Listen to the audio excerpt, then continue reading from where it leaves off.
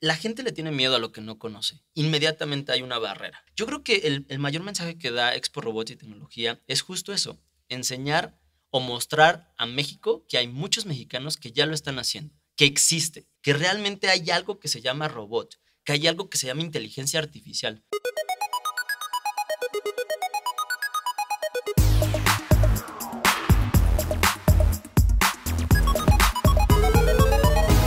Hoy en día hemos creído que los niños no saben nada y que por eso les tengo que decir yo lo que tienen que saber.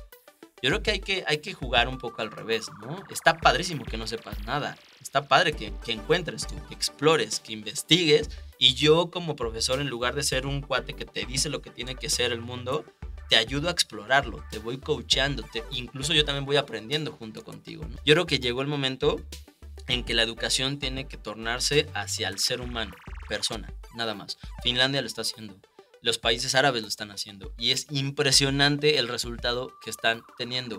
Entonces es maravilloso como un chavito que no tiene estos prejuicios, que no tiene estos paradigmas, te puede ayudar a crear muchas cosas y tratar de sembrar este, este sentimiento de explorar las cosas y decir, oye, me encantó lo que vi en, en el CCD ese día, eran dos robots peleándose, ¿cómo se llamará eso? A ver, voy a empezar a investigar. Si eres una persona que quiere realmente hacer un cambio, creo que el estilo de vida de Expo Robots y Tecnologías para ti. Llegó para quedarse, llegó para entenderla y llegó para aprovecharla. Los esperamos este 26 y 27 de agosto en el CCD.